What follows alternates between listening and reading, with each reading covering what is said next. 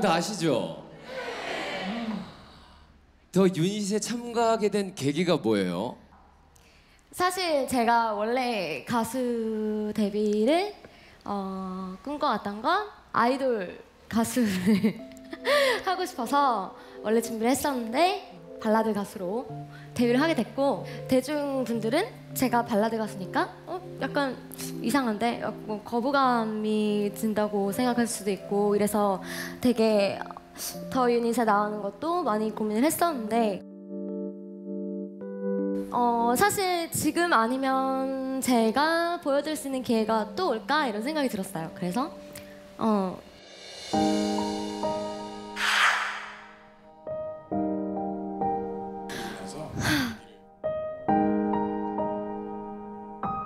아, 어떡해. 왜 그래? 현아 같은 경우에는 같이 원더걸스를 준비했던 저의 연습생 동기이고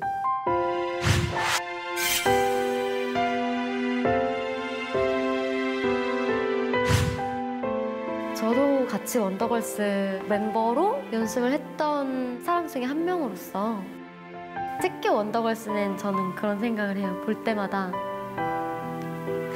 저 옆자리에 내가 이렇게 있었으면 어땠을까?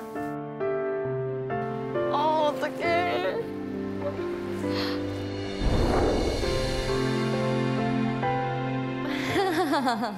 괜찮아. 죄송합니다. 어, 민주 언니랑은 제가 초등학교 때부터 같이 꿈을 키우면서 지하철을 타고 출퇴근을 하던 사이였는데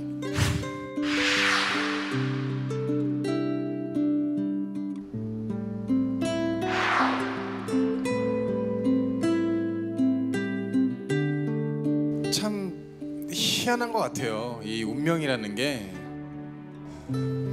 어, 너무 잘 나왔어요. 네, 긴장을 조금 푸시면서 어, 준비한 무대 보도록 하겠습니다.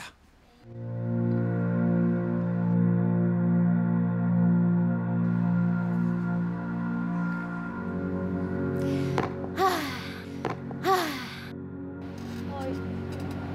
너무 떨려.